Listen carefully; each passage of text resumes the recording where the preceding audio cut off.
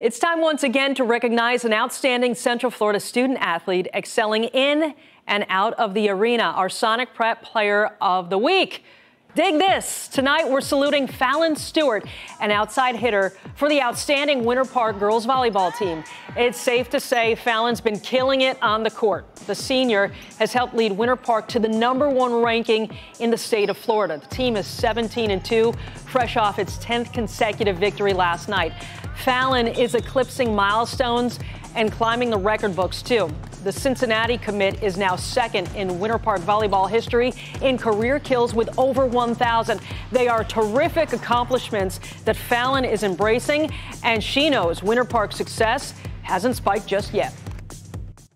Our team goals is to get better every single day, and so every practice we come in here with a goal in mind of getting better. Our team is very feisty, I would say. So we tend to attack teams from the just from the get, from the first set.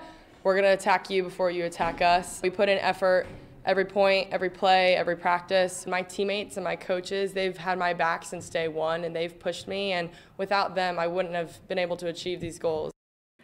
Best wishes to Fallon and the Wildcats.